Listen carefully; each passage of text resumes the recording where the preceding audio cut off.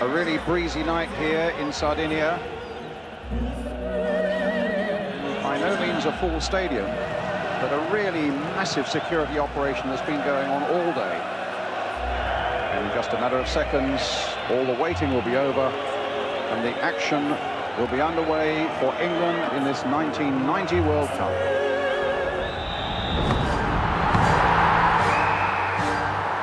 The Italia 90 World Cup, festival of football, a celebration of the world's greatest game. Any town, any city you went, the whole nation in Italy was just gripped by World Cup fever. With an audience of over 1 billion, it would become one of the most watched television events in history. The atmosphere was just phenomenal. 1990 changed, changed everything. At this time, English football is in crisis. Hooliganism is rife and damaging the country's reputation abroad. The most important thing to do is to get hooliganism out of football. Ten years of mounting violence on the terraces has led to English football clubs being banned from playing in Europe. We all want to get back into Europe. It's in the hands of fans, and they got to realise that. On the biggest stage of all, would this be the death of English football? If there's any crowd trouble, we're on a plane going home. Or the return of the beautiful game?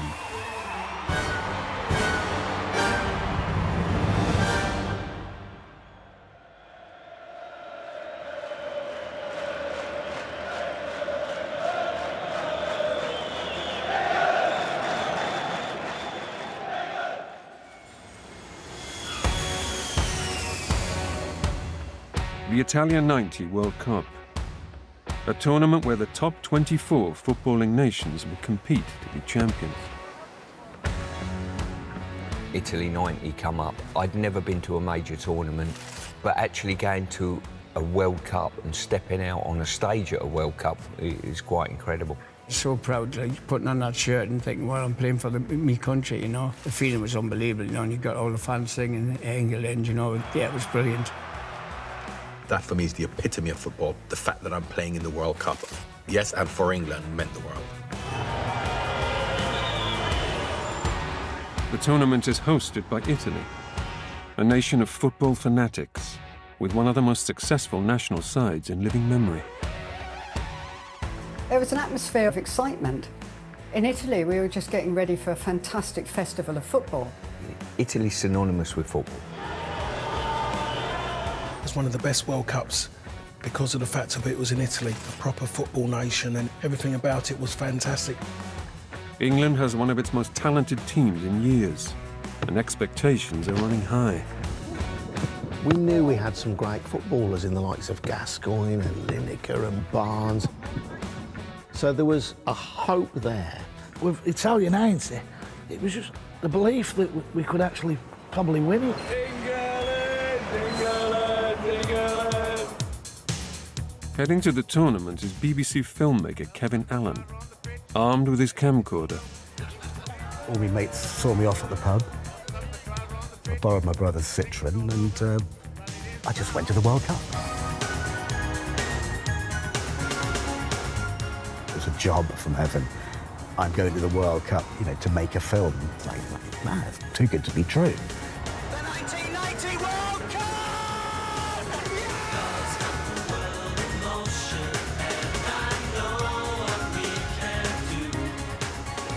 And then I, I got the ferry to Sardinia. Oh, God, Sardinia.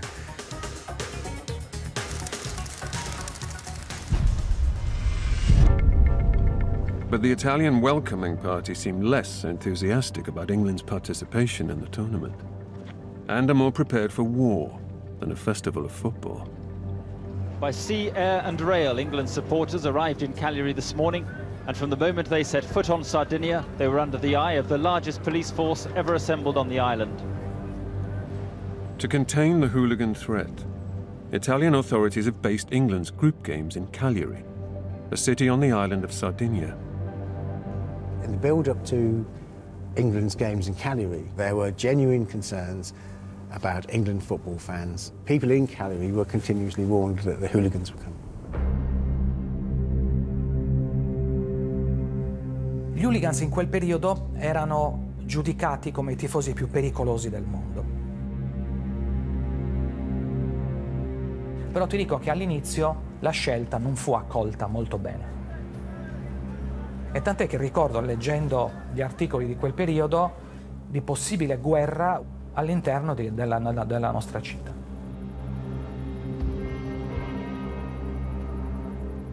The locals were pretty sceptical. I mean, the, the Uligano Inglesi was a real thing. It was pretty scary. Young carabinieri with guns, all a little bit twitchy. They were just taking no shit at all.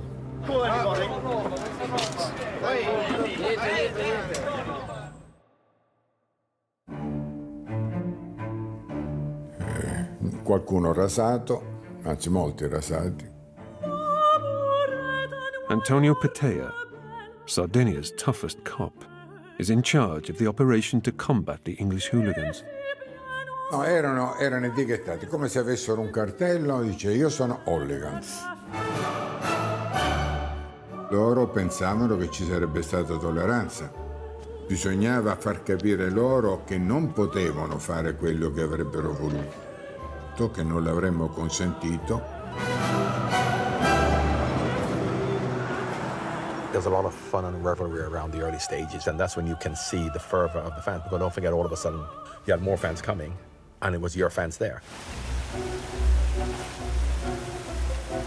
I got the sense that there were a lot of people who hadn't been abroad before. So there was definitely that sense of people who were not really aware of what it was to be in a foreign country for example, in Italy, it's just regarded as pretty low grade to be marching around showing off your beer belly when you're half cut in the middle of the day. Apparenza fisica. Erano tutti obesi, tutti obesi di dimensioni incredibili, cioè anche per l'età, sì, una cosa impressionante, tutti, eh, tutti allo stesso modo. Ed era difficile picchiarli, glielo garantisco.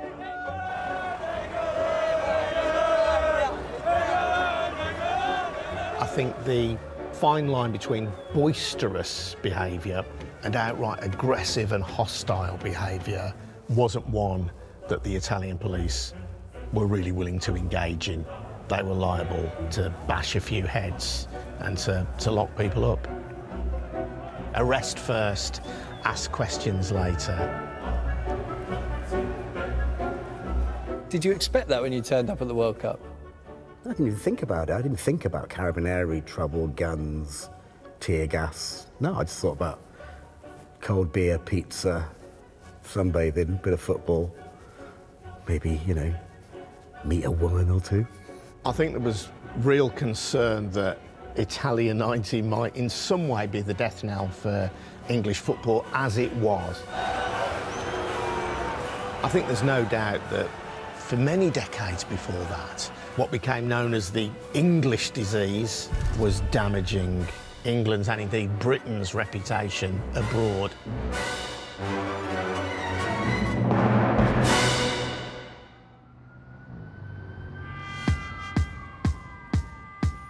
The story of Italia 90 begins 10 years earlier,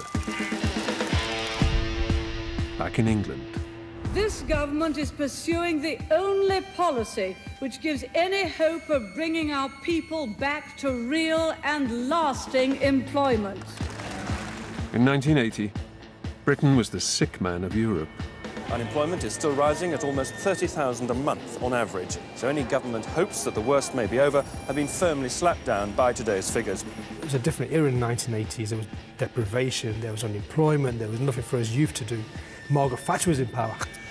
But, uh, In a deep recession, Margaret Thatcher's bid to reform the economy led to social unrest. That first half decade of the 80s just built up to a crescendo of violence.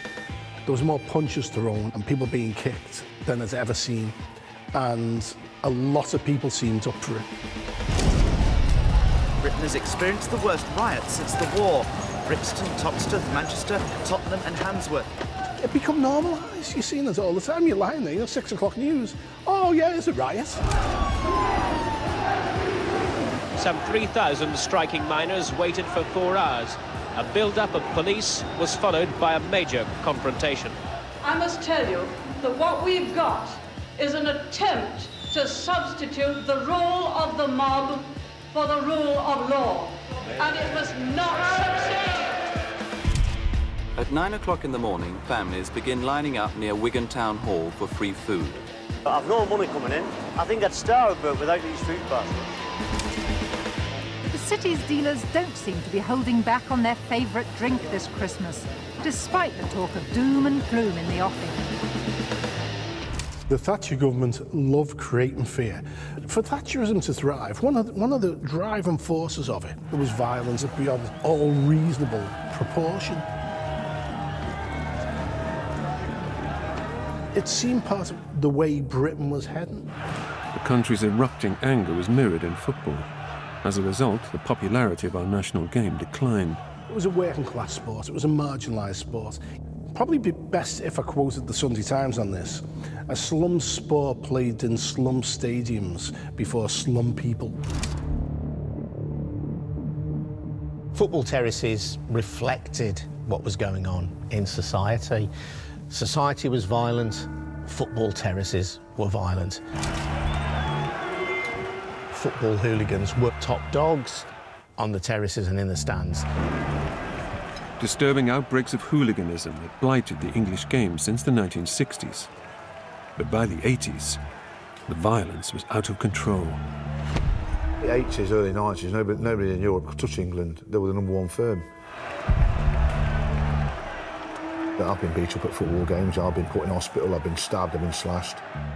I was down as one of the England's uh, main hooligans. Just looked upon as the devil, really, weren't you, you know what I mean? You know, especially that firm that went to Italia United.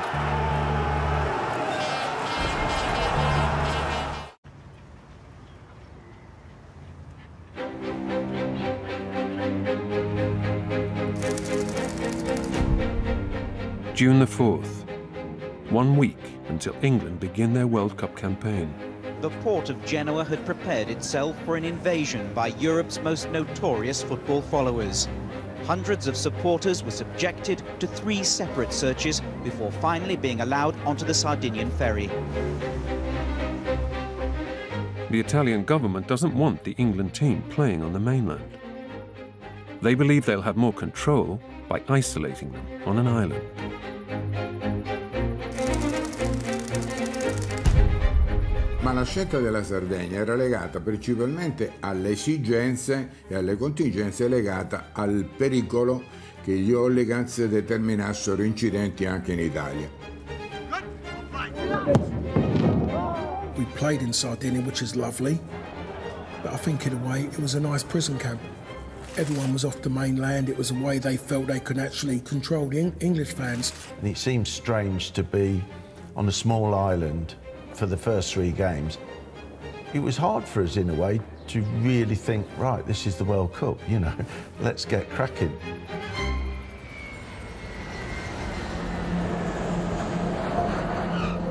To stop the hooligans from even travelling, the FA sets up a membership club to receive tickets, asking fans to reveal their passport number and criminal record. We want to make sure that that dedicated troublemaker, if that's the right uh, adjective, uh, is, um, is seen to be in a minority. That was the theory. In practice, the selling of tickets on the black market was rampant. People were turning up who clearly didn't have anywhere to stay, who didn't have any money, some of whom clearly did have criminal convictions. Even so, it isn't long before the Italians have their first high-profile criminal scalp. But the spectre of English hooliganism has returned after the discovery and deportation from Italy yesterday of the self-styled leader of English thuggery, Paul Scarrott. I come to watch the football. They call him the super thug, king of the hooligans. The media created these kind of celebrity hooligans. All their professed loathing of hooliganism, they would almost idolise certain characters or at least revel in their misbehaviour. Scarrott is said to have been top of the police's wanted list in Italy. Easy to spot, one might think, and yet turns up drunk and draped in the Union flag in Rome's central station. He claims to be in command of a number of so-called generals who are armed and ready.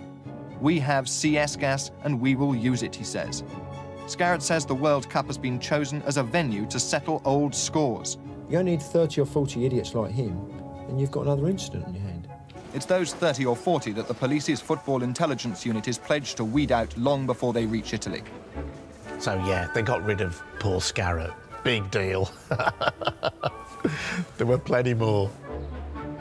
Two of the top five most wanted hooligans are now in Sardinia. Others are on their way.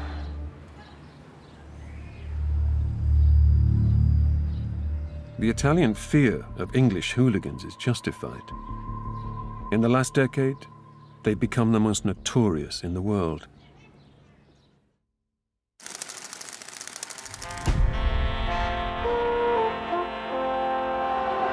The Football League this week have set up a committee to investigate the state of the game. With the 92 clubs owing banks a massive 40 million pounds, can football survive in its present form? In the 1980s, football was dying and attendances were at an all-time low.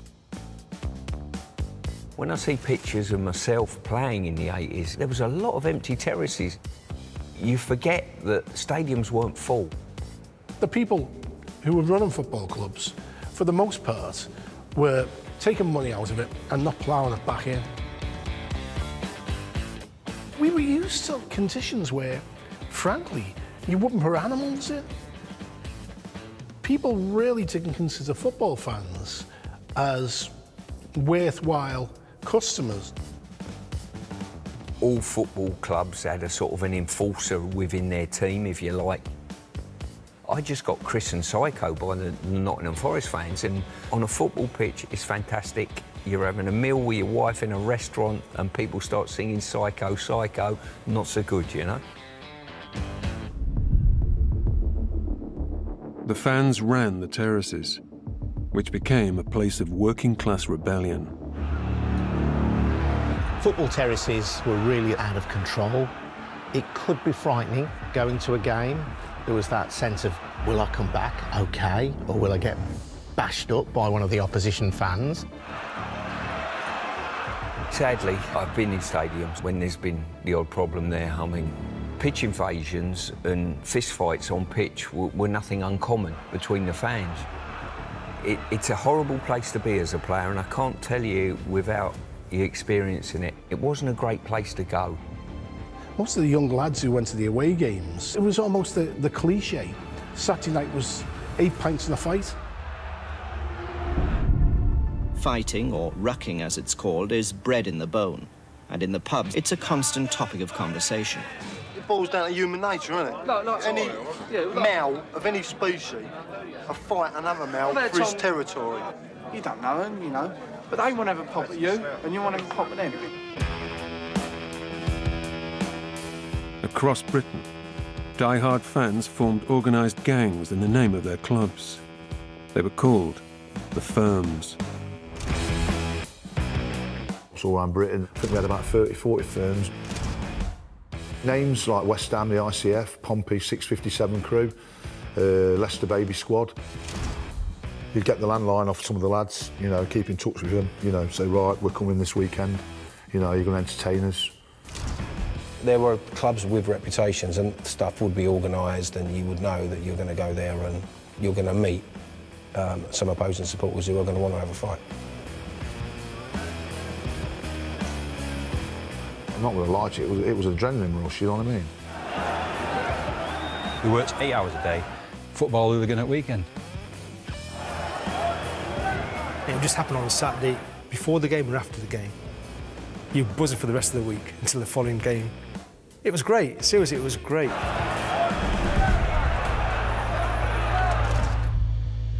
Football firms provided a sense of identity and camaraderie. I've always been on the fringes. I've never had this sense of belonging to anything because I've been an Asian lad at school full of white kids. And I saw a group of guys in town once, led by a black lad. They all walked past me. Each one had a unique style, but this football community, it wasn't about colour. It was like a brotherhood, and I wanted to be a part of that. Football firms also offered men a sense of excitement and escapism from their everyday lives. You're working a dead-end job all week. You're deciding what you're going to wear at work on a Wednesday. You know what I mean? You're actually getting your uniform ready for the Saturday. And you, you plan the whole day out, you know, the trains and where you're going to go when you get back. You know, hopefully you come back in one piece. Makes it a special day, doesn't it?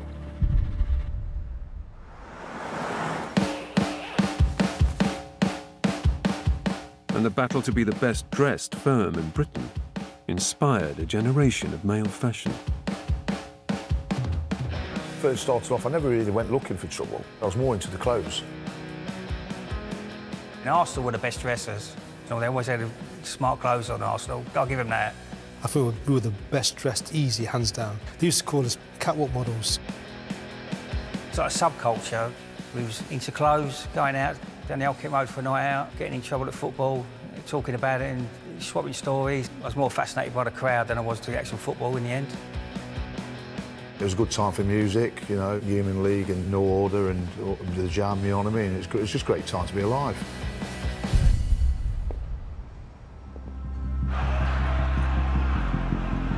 Though, at the core of this British subculture was a shared love for fighting. There was probably not a moment, and not an away game, where you actually felt 100% safe or better off. There was a hell of a lot of hooliganism. You know, it, it was ruining the game. They thought they were kings. And the beautiful game was getting soured. Football in the 80s, yeah, it was violent. It's absolutely ridiculously stupid that you put yourself in a position where you could be hurt, maimed for the rest of your life over a game of football. As fans became increasingly territorial, violence spilled out of the terraces and onto the streets. People living around the ground were also busy clearing up. Their windows and car windscreens were smashed by Millwall fans leaving the ground. How frightened were you? Oh, what, 72? And ain't mine from 78 and they frightened? Come on. Good, it freaked me to death. I've gone to the football ground entrance to try and get some police outside. I got hit on the head with an iron bar. Any club in the country to a varying degree now suffers from hooliganism. It's a blemish on our society, not just football. By the mid-80s, British hooliganism was spiralling out of control. 1985 was the most violent year I experienced. The anger was still palpable in the country. It felt like the whole of society was breaking down. It was just an insane period. The country was teetering on the edge.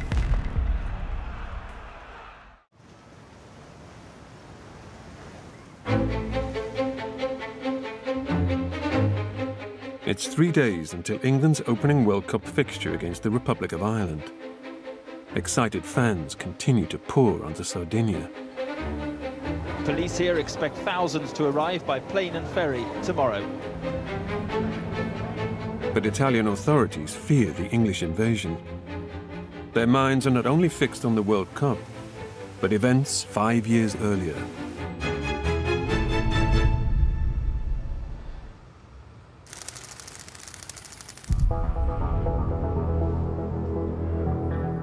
Nineteen eighty-five, English football's darkest year, when hooligans hit the front pages and Thatcher's government began cracking down on the sport. Luton Millwall, 85, the infamous riot. I think the reason that everyone refers to it, mainly, is because it was played out live on television.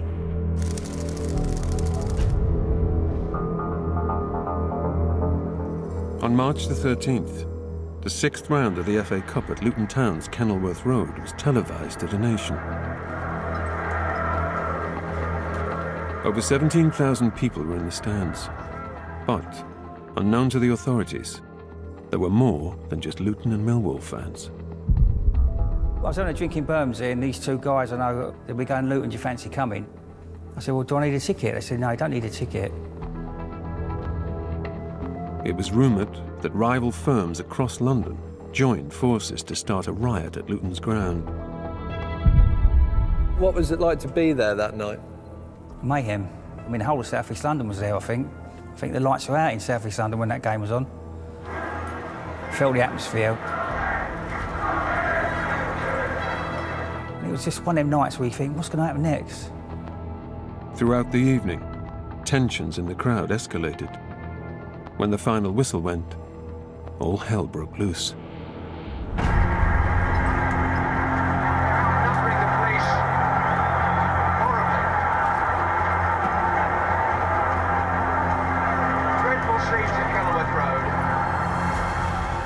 Motty, seeing what he saw there, you can understand how shocked he was. But not everyone was horrified by what they were watching. Millwall's mob was bouncing down the pitch and hugging each other, and the police were running away. The commentary, you know, oh, we don't need to see scenes like this. We were like, we need to see scenes like this. We loved it. All year, we've been watching the police chase miners all over the place. And for me, to see the police getting chased away on that night, it was a thing of joy. I was like, yeah, go ahead, Millwall. Say no one likes them. I like them. While some fans might have relished the violence, the football establishment was appalled. You can almost hear in John's voice, I know I've got to talk about something I don't really want to talk about. And something, as we've said before, sooner or later has got to be done to try to prevent people like this spoiling the football for others. As a, a lover of football would have found it horrible. It's like his own house being vandalised. In the aftermath of the game, 47 people were hospitalised, but just 31 arrested, including several Chelsea and West Ham fans. It was counterproductive for football fans because obviously they were going to crack down, but I think it was just a natural progression of that violent, violent year. After what's been described as one of the worst nights of violence in British football, the Prime Minister is demanding action. And I think the most important thing to do is to get hooliganism out of football. Give them stiff sentences and try to eradicate it from our society. And that's going to be absolutely vital if football's going to survive. It was really a knee-jerk reaction with one eye on the PR value. And, you know, we were in the firing line. It was a problem. Football created that for itself, sadly. And if you're going to create that environment and that problem, someone's got to deal with it eventually. And I'm not sure I'd knock Thatcher for that. It was hard to see that things could get any worse for football after that.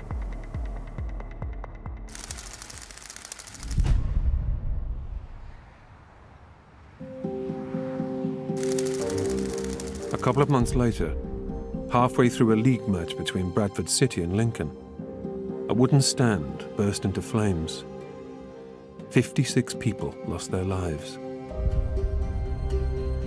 It was thought the cause was a discarded cigarette.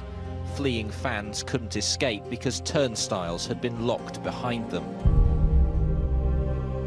I don't think that would have been that unusual at the time. You go to places you were completely caged in. We're being conditioned to think that this is how football fans were treated. Bradford was unlucky. I think all of us were like, that could have been us. That could have been us.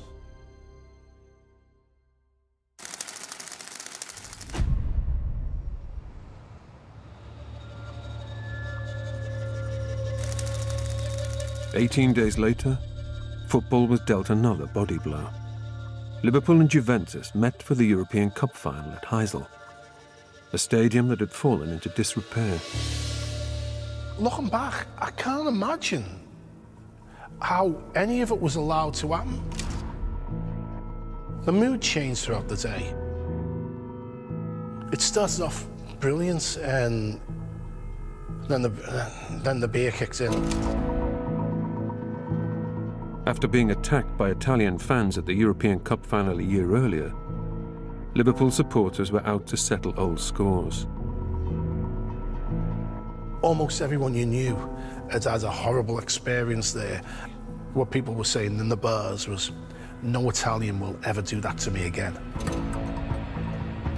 This was the, the end of this really, really violent year. And we were approaching its climax, and I didn't know how bad the climax was going to be. An hour before kick-off, fights erupted between rival fans. Liverpool supporters broke through wire fences in a neutral section of the ground. I could see that there was trouble down the front. There was police involved. Everyone started like trying to rip the fences down. Everyone started going mad at the front. While missiles and punches were thrown, Liverpool's fans charged forward. The Italians panicked and retreated, but were crushed against a wall that eventually collapsed.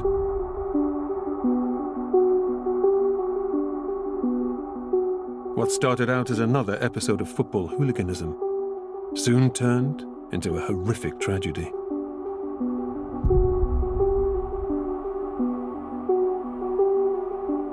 Thirty-nine Juventus fans were crushed to death, and a further 600 seriously injured. Despite the devastation, the game was allowed to go ahead. We kick off, we, you know, we lose 1-0, but we still didn't have any sense of there were people dead. Whichever club it is, you know you're associated with it, but it's football. It still comes back to football, and you're all responsible for, for that because you're the football community, you know? Una tragedia perché mh, a me colpì tanto il fatto che si giocò la partita nonostante i 36 morti, 37 morti accumulati negli spogliatoi. Una pagina che nessuno ha rimosso, né in Inghilterra né in Italia. Vittime innocenti, andate allo stadio per vedere una partita. La questione dell'Eiser è stata un'esagerazione assurda, intollerabile, inimmaginabile, irripetibile. Non si deve ripetere mai più una cosa del genere.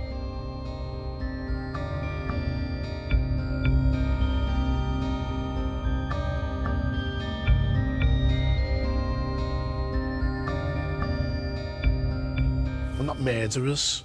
We had no intent to cause harm. If the stadium was in good nick, no one would have died. But that resulted in the deaths of 39 people, and no one can feel good about that. It's something that should always, and does always, stay with us. In the days following the tragedy, football's governing bodies were left with no alternative but to take stiff action. Six English teams have been banned from playing in European competitions next season. The hooligans have won, was the comment from the chairman of Norwich City. But Mrs Thatcher has made it clear that she welcomes the decision and that more tough measures against hooligans are on the way.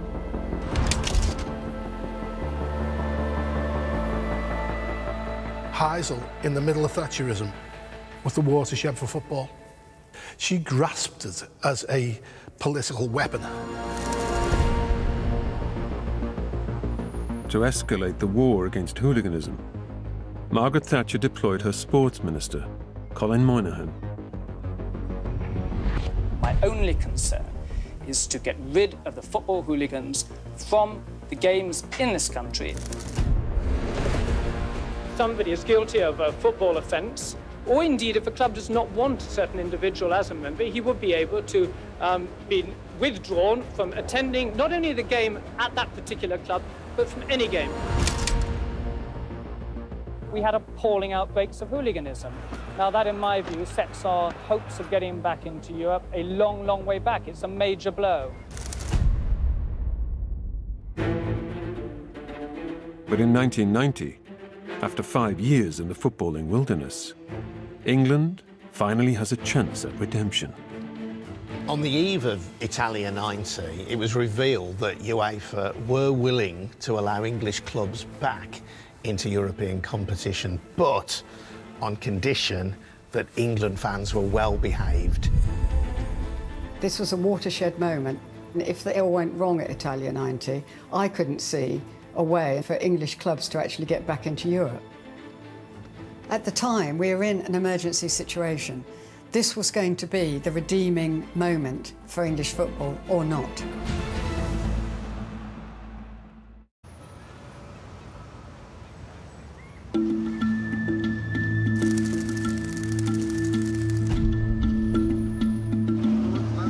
On the eve of their World Cup kick-off, England are giving away no secrets. It's the day before England's opening match against the Republic of Ireland. There are six groups in the tournament. England must finish in the top two of their group to qualify for the knockout stages. With all due respect, overall, we've, we've got the better players. Ireland and their army of fans arrive in Sardinia. Their manager, Jack Charlton, has left nothing to chance. Every game that you ever play is an important game. There's no such thing as an unimportant game. The Italian authorities have so far quelled any impending violence, but there remains an undercurrent of fear. There's still a lot of ill feeling towards British fans because of the Heysel disaster. Well, we're just hoping that they do come to watch the football, enjoy it, enjoy it as a bit of a holiday as well, and just stay out the way of trouble. Da parte dei tifosi italiani c'era molta paura che col ritorno in, in Europa, in giro per l'Europa, dei tifosi inglesi, Concerned that hooligans will damage the reputation of England abroad, Margaret Thatcher sends her sports minister Colin Moynihan to Sardinia. Cagliari Stadium in Sardinia, England's home for the first matches of the World Cup, and for Colin Moynihan and the Italian authorities, the place where security is likely to be most tested. Uh, the message uh, that I've been giving to the police here is more of the same, please. Moynihan's close working relationship with the Italians has put him at odds with England's army of fans. I hope you're listening to this. You are a rat, you are a traitor, you should be hung. You should be hung. The fact that Moynihan was going over to Italy and encouraging the Italian authorities was shameful. To have somebody there that was your sports minister that, that really should be back in your national game, but he didn't. It, it wasn't great to have that feeling inside you as one of the England players. But Italian authorities fear the historic rivalry between England and Ireland.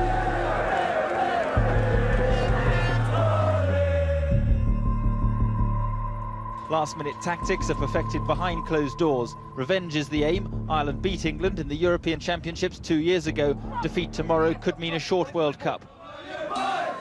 And tensions between these two countries stretch beyond football. It's political too. Let us pin the responsibility to where it belongs on the common murderers of the IRA. You've got the constant troubles in Northern Ireland. We saw what the army were doing in the bombing campaigns over here. And that just, you know, sort of ramped up the tension. Win or lose tomorrow night, we'll come out, we'll sing, we'll dance and we'll celebrate. Some England fans have a particular problem with Ireland. And you'd hear the IRA chants and so on, no surrender. Our first game was against the Republic of Ireland, which can be a flash game on any given time as well. On a few days, we thought if the fans riot before the big game, we're on a plane going home. It wasn't a particularly nice place to, to be, to be honest with you, as a player.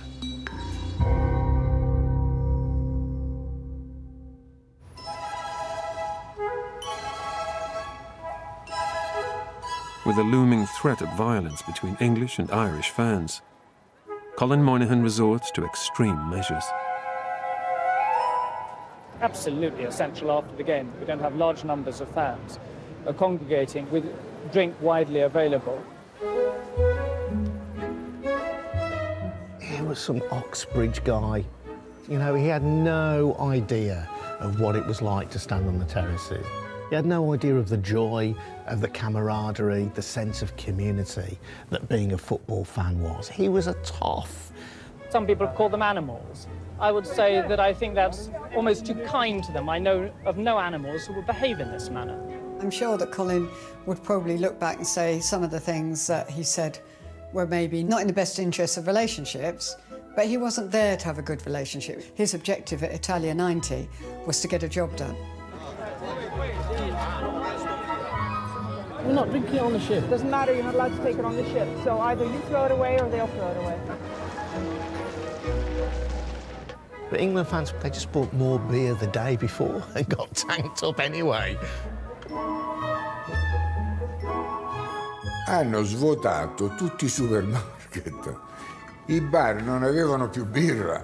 Gliel'ho detto, se lei andava nel, sotto i portici di via Roma era un tappeto di bottiglie. But there's a sobering warning from the Carabinieri. ITN cameras were invited inside Cagliari jail to see what's in store for those bent on trouble. Arrested hooligans could be in here on match day. It would mean sharing with 700 of the island's hardest criminals. The authorities are hoping the football invasion of this island is a friendly one. If it's not, they say, they're prepared.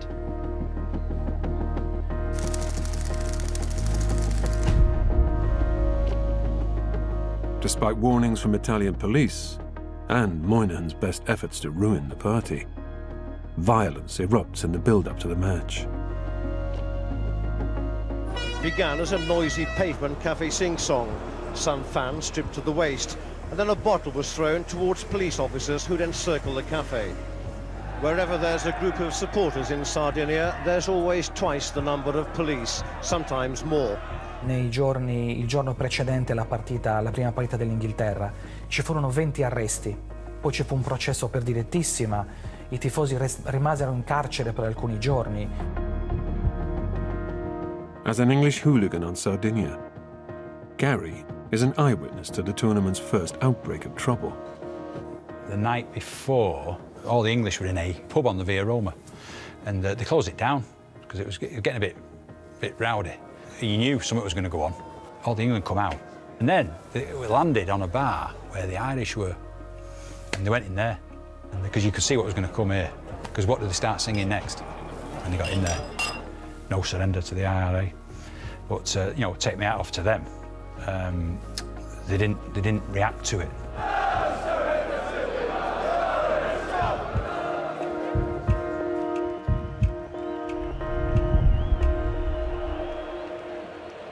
It's now pouring with rain here. Uh, there's lightning flashing all around the Mediterranean. Inside the Sant'Elia Stadium in Sardinia, the atmosphere among the fans is tense. And in just a matter of seconds, all the waiting will be over, and the action will be underway for England and for the Republic of Ireland in this 1990 World Cup. It's the first game of the tournament for both teams, and neither side can afford to lose. The game against the Republic of Ireland, it was an affront to football. There was two teams kicking lumps out of each other. Gascoigne, what's he going to do? He's getting involved with Morris. Fancy it was a hair's breadth about from doing something really stupid there. Absolutely. Look, just look. so close to it there. It was like a league game. You know it's going to be physical before it even starts. Back then, it was just more about aggression uh, and getting stuck in. It's always a bit tense, the first game. You knew it was going to be a tough match because Jack Charlton, you know, he, he, he got the best out of the players. It's a goal for England, sure! And Lineker, the World Cup goalman, does it again! And of course, Gary Lineker got a bit of a scrambly goal, but that's typical Gary. He was in the right place at the right time. Singing there, deep, gets it away, Sheedy! Probably was a fair result to leave on all. It was a nice one for us to come through unscathed. As much as it was a one-all draw, we're just happy to get through that game.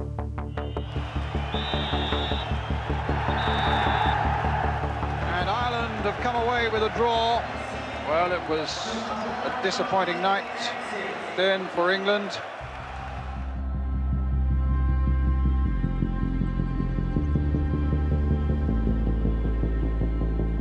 After the Ireland game, everyone breathes a sigh of relief. But England's next opponents are the Netherlands, who pose an even bigger threat, both on and off the field. The Dutch also drew their opening match, so the stakes for this second group fixture are running high. Despite the good humour of the vast majority, Dutch undercover police say a small number of known hooligans have also travelled from Holland, intent on violent confrontation with the English.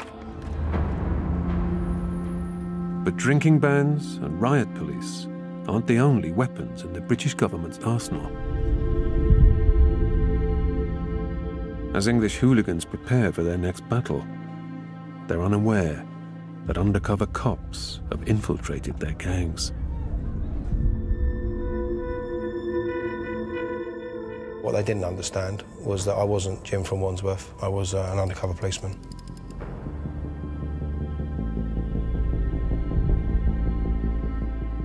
Created an illusion. I'm Gary Rogers, and I'm a police officer.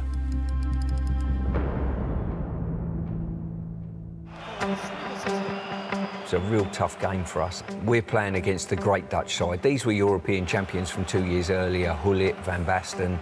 There was some talent in their team. A big, big game against Holland. My first game in the World Cup, my World Cup debut. I'm remembering 1988 and the beating that they gave us. We were really more determined not to let that happen again. We had one job to do, was that to get through the qualifying round. England with three in the middle. Great skill by Gascoigne. Oh! I just knew how good I was. I wasn't scared of anybody, and I just felt I couldn't put a foot wrong. That's here next week at the same time. Now, three finalists and a few familiar faces. Big ideas need launching and alternative leaders need crowning. Make me Prime Minister tomorrow night at 9.15. Next tonight, at a time when social division was widespread, a wave of boundary-pushing art emerged, part of our Truth and Dare collection made in the 80s, the decade that shaped our world.